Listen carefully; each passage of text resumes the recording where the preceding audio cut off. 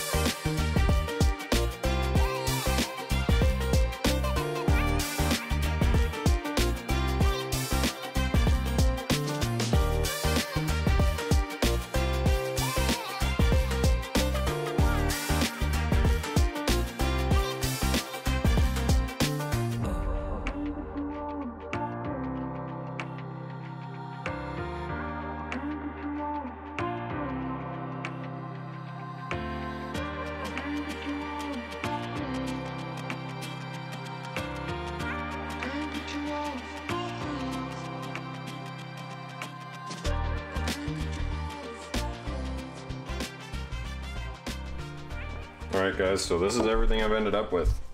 Um, I have this little plate that basically slides in the back of the tail light and uh, this is where I've mounted my Ghozt module and pigtails. I made a little clip here.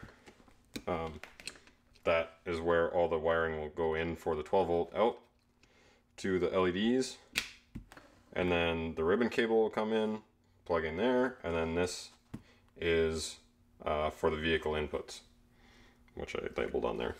So, yeah, so pretty clean. Um, each of these, the covers didn't turn out amazing, but um, each of these has a cover. This one clips on and it's kind of hard to get off, but so uh, like this. Wow, I can't get any of these off. There we go.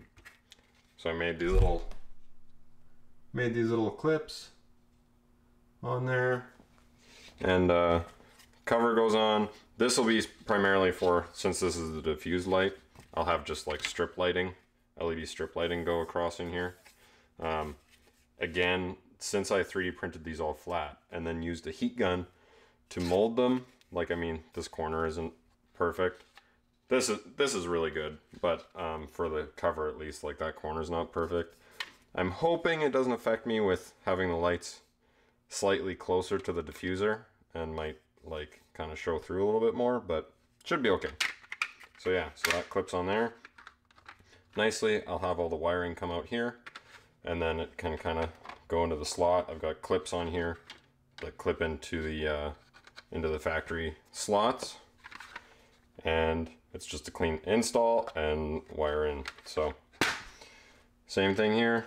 This one screws in from the back. It actually lines up with this middle piece in there and then uh, screws into those holes. So it'll basically be like that in the tail light. And then the front one just uh, screws into these upper holes. So yeah, pretty happy with how they've come out. Let's wire them up.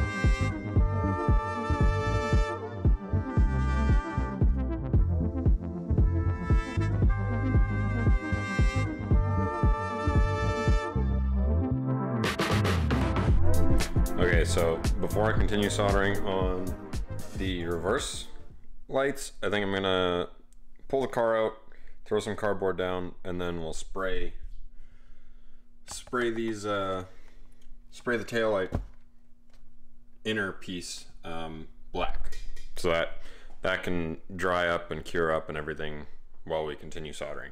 So let's pull the car out.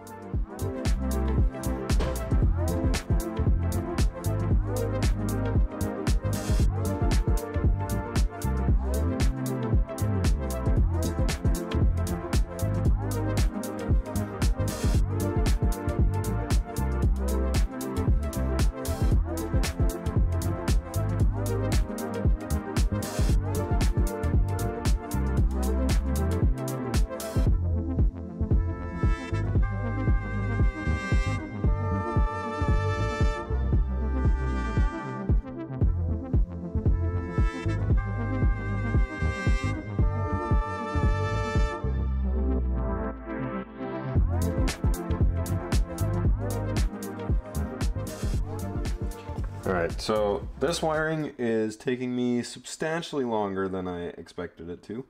Um, Mostly, I think, just because I'm pretty slow. But I'm kind of I'm running wires to everything that's on a separate channel. So there's one power coming in that supplies 12 volt to everything, and then since this is the signal, I wanted each individual pair um, to be on its own channel. So I'm wiring up each channel that'll run back to the Ghozt module, and then it'll be able to individually control each one of these vertical pairs. So, yeah. So I've done about half. And uh, I'll keep going with the rest. And then once that's done, then the cover can kind of go on there. Uh, I'm putting some uh, some of this goop stuff down just to uh, hold wiring and everything in place. Um, once it's in there, and then these covers will cover it nicely up. The wiring comes out the one little hole. And yeah, my reverse lights are going to be crazy bright, which is honestly what I wanted, so that's good. And then, uh, yeah, so got that all wired up. Um, as you would have seen, let me just pull this off. So, wired up all the reverse lights there, and then mounted in the backing plate is the the red strips for the uh, for the brake light and parking lights because those need to be mounted there so that they stay at a specific distance from the diffused um, pieces just so that they turn out nice so. Overall coming out good just still very slow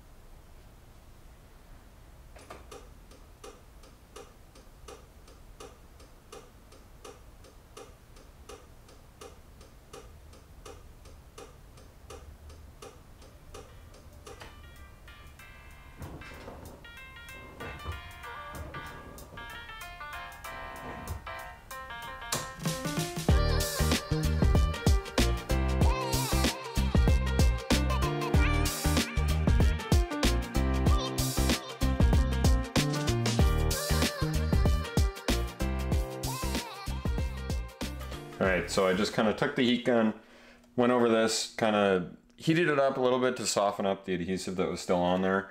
And I didn't fully clean it up. I'm still gonna give it a little wipe down because there's actually like some dirt and crap on here. Um, but mostly I just used the flat blade screwdriver, gently kind of removed any major like blobs of that old adhesive just to kind of get it flat as I as flat as I can and smooth it out. Um, to leave some good surface area for the new adhesive. So, um, yeah, so I'm just to clean it up a little bit. Then we'll throw on some butyl tape and try and re-stick this to the taillight. I'm going to try and give the lens a quick little uh, polish here just with this plastics polish also, see if I can clean it up a little bit. The thing that sucks is that these lenses have cracks in them. It's hard to show in the camera, but there's a bunch of cracking there. And for that reason alone, I've been contemplating a lot, like if I was going to use this lens or not, as I mentioned earlier in the video, but I think I am. It's just going to give it a little bit more of a clean, like OEM look.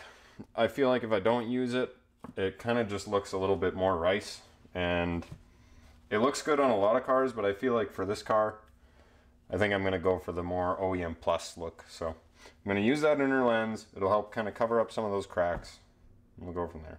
So let's uh, let's try and give this a little bit of a polish.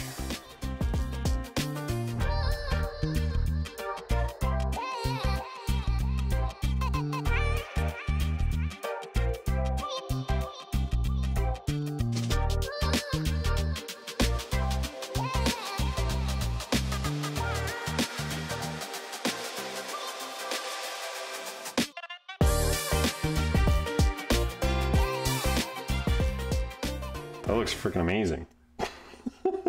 and I'll be honest, I didn't put much effort into this. I polished for like maybe five minutes with this, with that stuff I showed. This Meguiar's Plastics, clear plastic cleaner and polish. And uh, yeah, that looks amazing. Right on. Let's get it on.